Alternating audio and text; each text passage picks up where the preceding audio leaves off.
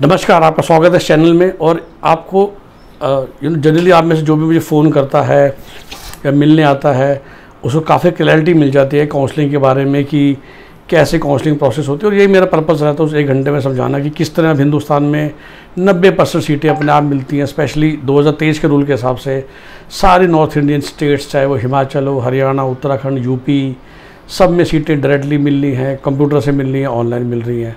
राजस्थान में भी जो भी संभव था, वो ऑफलाइन काउंसलिंग जो 2023 में थी, अगर वो ऑनलाइन हो गया तो वो भी अपने आप मिल रहे हैं ट्रांसपेरेंटली मिल रहे हैं चॉइस फिलिंग करके मिल रहे हैं। और चॉइस फिलिंग में कोई रॉकेट साइंस नहीं है। मैं आप सबको हमेशा समझाता हूँ कि आपने ऊपर से नीचे तक सारी अपनी चॉइसेस भरनी है। कंप्यूटर आपको ऊपर से स्कैन करेगा जो अवेलेबल सीट होगी मिल जाएगी।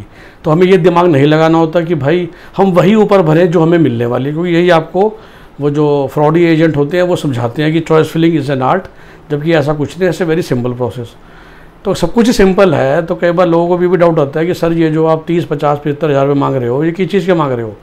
आपने समझा दिया सब कुछ हम खुद ही कर लेंगे। तो पहले तो मैं ये बताता हूँ जहाँ पर चीज़ सिंपल है कि बंदा कहता है खाली यूपी में जाना है बात ही ख़त्म। जैसे हम तीस हज़ार रुपये लेते हैं। जब असली में सर काउंसलिंग शुरू होती है ना तो दो दो दिन में चीज़ें बदलती हैं कि दो दिन चॉइस फिलिंग का दो दिन रिपोर्टिंग का उसका तो उस समय अगर आपको किसी की मदद चाहिए, किसी का सपोर्ट चाहिए तो हम बैठे हैं। और फिर मैं हमेशा कहता हूँ कि प्राइवेट कॉलेज में जहाँ पर आप सत्तर, अस्सी, नब्बे करोड़ रुपये खर्च कर रहे हो, तीस हज़ार रुपये एक स्टेट के लिए कुछ भी नहीं हो जाता। फिर पचास हज़ार रुपये पचहत्तर हज़ार का जो पैकेज आता है, वो मैं आपको एक लाइव एग्ज़ाम्पल लेकर समझाता हूँ, जो पिछले दो तीन दिन में मैंने काउंसलिंग करी। जैसे मेरे पास एक बच्चा आया जिसके इस साल 360 नंबर है, जिनका नॉर्थ इंडिया का बच्चा है ड्रीम कॉलेज था जॉली ग्रांट नंबर दो पे गुरु राम राय वो दोनों नाम मिले तो तीर्थांकर, महावीर, वो ना मिले तो समझ लीजिए हम एम एम सोलन में जाएँगे। अब कैसे आप काउंसलिंग की स्ट्रेटजी को बनाते हो या आगे लेके चलते हो कि आपको जॉली ग्रांट मिलने का मैक्सिमम चांस हो बट अगर जॉली ग्रांट नहीं मिला तो आपको कम से कम तीर्थांकर, महावीर या सोलन तो मिल ही जाए।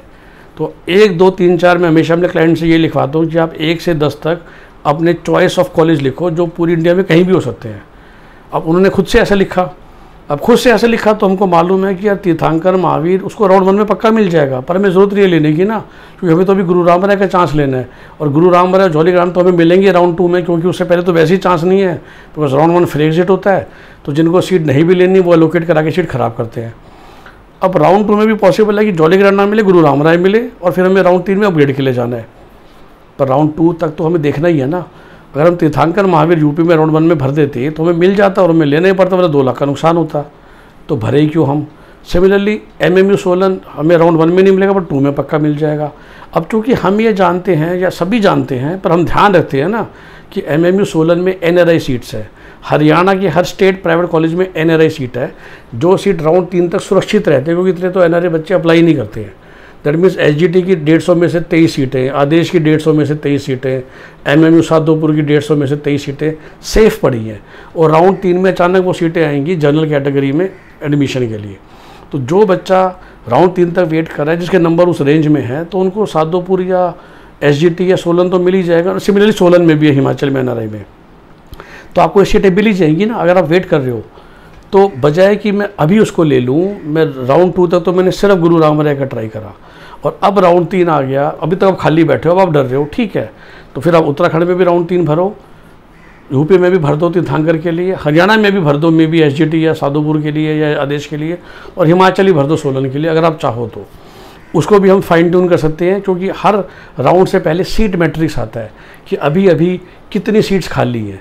तो सिर्फ़ तेईस सीटें खाली दूँगी एस में कई बच्चे ऐसे होंगे जिनको राउंड टू में अलॉटमेंट हुई थी, पर उन्होंने कोई और स्टेट का, कोई और कॉलेज ले लिया। तो फिर आपने टोटल नंबर ऑफ़ सीट्स देखी, और आपको पता है कि जब इतनी सीटें अवेलेबल हैं, इतने मेरे नंबर हैं, इतनी सारी कट ऑफ़ चल रही हैं तो अगर थर्ड राउंड में मैं जॉली ग्रांडो साथ उससे खाली रह गया जीआरआर से सो टीएमयू तो मुझे मिल जाएगा बिकॉज़ टी की जैन मिनल्टी की सारी सीटें अभी तक सुरक्षित पड़ी हैं। तो वो तो मेरा ड्रीम था। टीएमयू मैंने नंबर थ्री बैकअप के लिए ले लिया, और और सुपर बैकअप के लिए मैं चाहूँ तो मैंने हिमाचल, हरियाणा में से एक ही स्टेट भरा। कभी बार ऐसा होता है कि आपको उसकी भी ज़रूरत नहीं पड़ेगी, आपने बस टी भर दिया तो आपको पता है कि उत्तराखंड नहीं मिला तो टी मिल जाएगा। मैं इन्हीं चार पाँच स्टेट की फ़िलहाल समझा रहा हूँ, इसको आप ऑल इंडिया में भी स्टडी कर सकते हो। राजस्थान राउंड तीन में खुलेगा, हमारे लिए हमें पक्का मिल ही जाएगा। फिर डेट्स का बड़ा फैक्टर होता है। अब उत्तराखंड के समझ लो, इकट्ठे राउंड चालू हुआ, पर उत्तराखंड का रिज़ल्ट और यूपी की चॉइस फिलिंग डेट में चाहे दो दिन का भी फ़र्क हो, कि उत्तराखंड का रिज़ल्ट आने वाला है चौदह जुलाई को एग्ज़ाम्पल के लिए बोल रहा हूँ, और हमारे पास चॉइस लॉकिंग करने का लास्ट डेट है पंद्रह जुलाई यूपी तो अगर चौदह जुलाई को हमें गुरु राम राय मिल गया तो पंद्रह जुलाई को हम चॉइस लॉक नहीं करेंगे यूपी में जो हमें सीट तो चाहिए नहीं ना तीर्थंकर महावीर की तो भी हमारे दो लाख रुपये बच गए। जो वरना अगर हम पंद्रह जुलाई से पहले सीट लॉक कर देते, हमें पक्का सीट मिल जाती, हमने जाना है नहीं क्योंकि हम तो गुरु राम राय जा चुके हैं तो वो दो लाख गए। तो अ गुड काउंसलर कि जो मैंने कहा कि मैं आप लोगों के लिए काम करता हूँ, या शायद और भी कोई अच्छे काउंसलर कर रहे होंगे कि जो हम पचास, पचहत्तर हज़ार रुपये लेते हैं ना, वो इन सब दिमाग के लेते हैं, वो दिमाग जो रेगुलरली चलता है, वो दिमाग ये नहीं कि आज ख़त्म हो गया। तो किसी ने बहुत अच्छा सवाल पूछा, सर, आपने अपनी लिमिट हंड्रेड क्लाइंट से रखी हुई है, आप सौ के दिमाग चला पाते हो?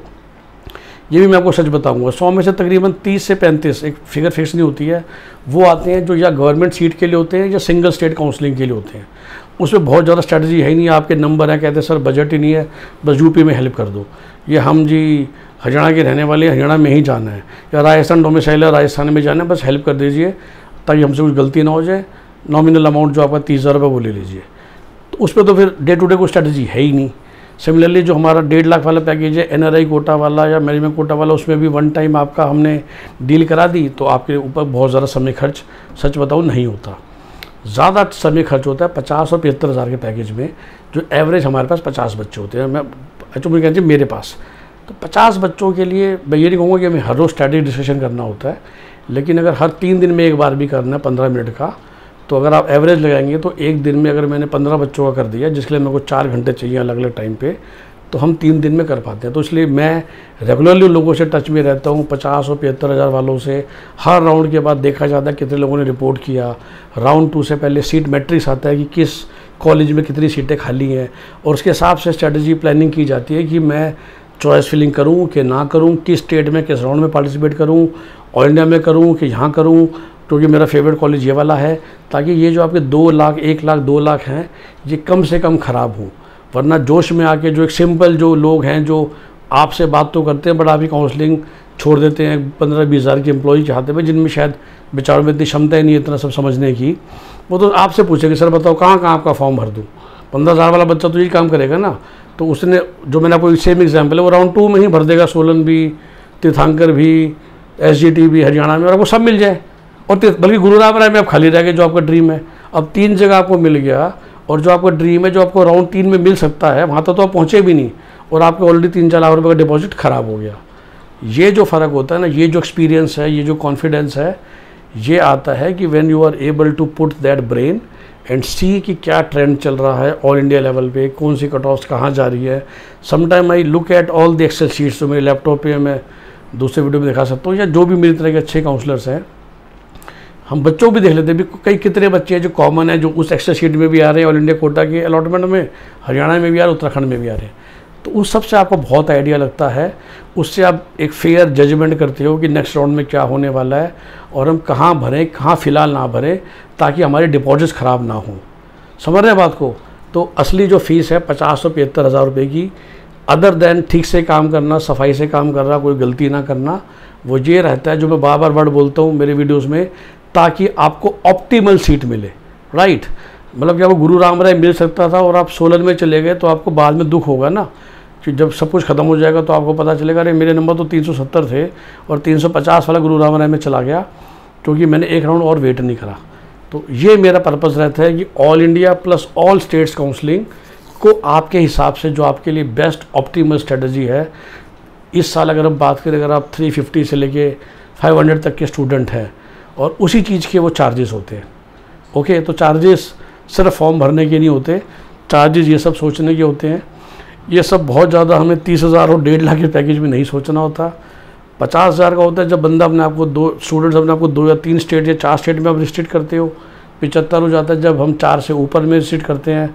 अक्सर जो कम नंबर वाले हैं कि जो नॉर्थ भी देख रहे हैं, जो मैंने अभी एग्ज़ाम्पल दिया जैसे मेरे पास एक स्टूडेंट है थ्री हंड्रेड टेन मार्क्स का, और बैकअप के लिए हमें बंगाल भी भरना है क्योंकि वहाँ तो कॉलेज मिल ही जाता है, या बिहार भरना है या सिमिलरली कोई साउथ का कॉलेज भरना है तो एफर्ट बढ़ गया प्लानिंग बढ़ गई, देखना बढ़ गया, और उसी के हिसाब से चार्जेस पचास या पचहत्तर हज़ार का पैकेज होता है।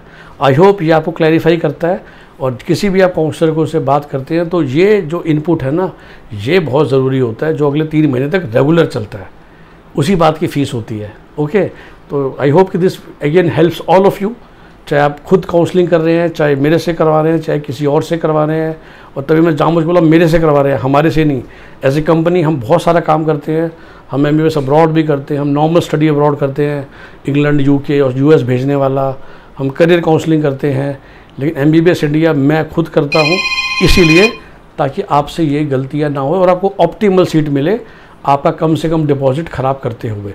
तो खुद करें या जिस भी किसी काउंसलर को हायर करें तो अगर आपको बीस हज़ार में आपका काम कर रहा है, लेकिन आपके तीन चार लाख डिपॉजिट ही ख़राब करा दिए, या आपको ऑप्टिमल सीट नहीं मिली, गुरु राम राय मिल सकता था और आप सोलन में पढ़ रहे हो, ये चीज़ होती है जिसका आपको ध्यान रखना है।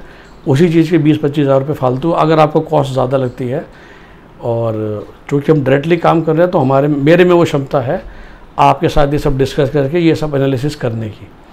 उसी बात की फ़ीस है।